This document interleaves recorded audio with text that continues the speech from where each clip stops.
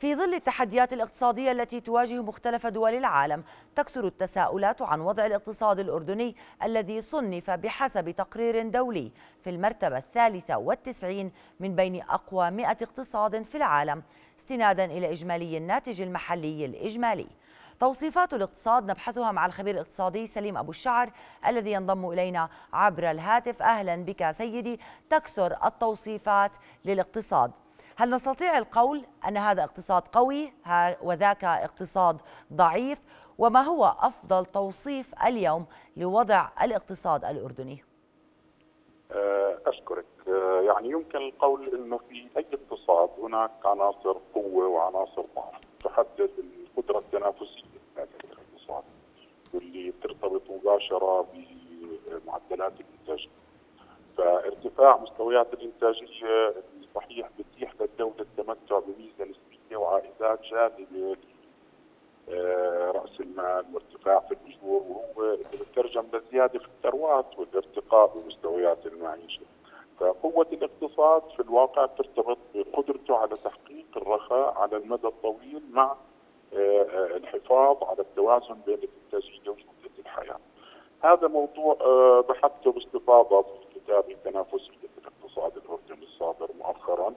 اللي استعرض في وضع الاقتصاد الأردني ومتانته وتنافسيته بالمقارنه مع باقي الاقتصاديات العالميه. وجدت إنه إحنا نقف في مرتبة متوسطة بين دول العالم. يعني إحنا بنتبوأ المرتبة 70 بين 141 دولة.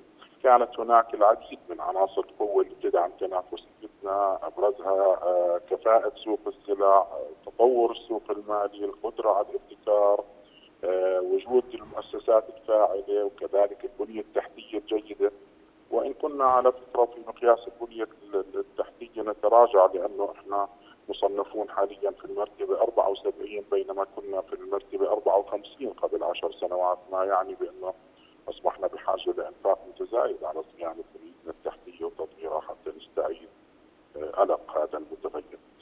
كذلك فمن عناصر القوة اللي بتمتع فيها الاقتصاد نسبيا وكانت دائما تعطي ميزة تنافسية مؤشرات الصحة والتعليم وغيرها. يمكن في المقابل التقارير الدولية عم بتشير لعدد من من من عوامل الضعف الاقتصادي أبرزها مثلا بيئة الاقتصاد الكردي وسياساتنا الاقتصادية اللي يعني نحن نصنف بموجبها في مرتبه متاثره بين دول العالم نتحدث عن المرتبه 111 بين 141 دوله وهو مؤشر ينبغي اخذه بكثير من الجديه تداعياته كذلك مؤشر كفاءة سوق العمل اللي عم نصنف بموجبه في المرتبة 84 ومؤشر تطور بيئة الأعمال اللي بيحتل الأردن مرتبة ليست مرضية. إحنا بنحتل المرتبة 88 بين 141 دولة. للأسف الشديد كنا نتراجع بمقياس هذا المؤشر لأنه كنا في المرتبة 47 قبل 10 أعوام. لاحظي مدى مدى هذا التراجع. نعم لكن بعيدا عن لغة الأرقام وببساطة كيف تصف اقتصادنا؟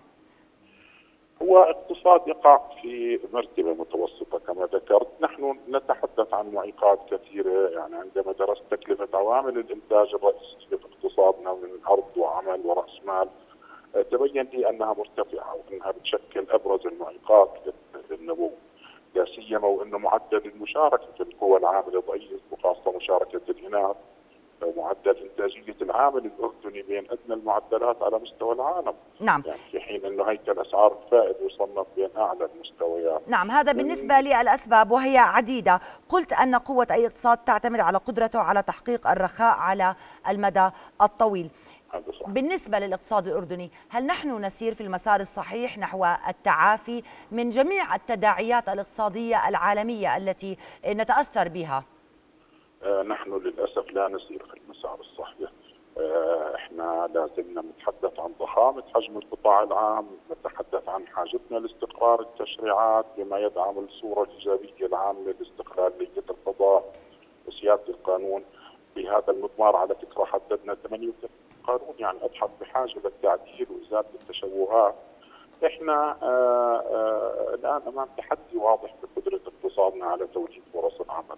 وهذا لن يتاتى إلا من خلال الاستثمار والروافع اللي تحدثنا عنها. نعم اذا نحن عموما اقتصاد يعني قوي لكن بحاجة إلى يعني تدارك الكثير من عوامل الضعف نعم والخطوات التي تتخذ الآن يعني نحن على ضوءها لا نسير في المسار الصحيح نحو التعافي. اتضحت الصورة. شكرا لك الخبير الاقتصادي سليم أبو الشعر.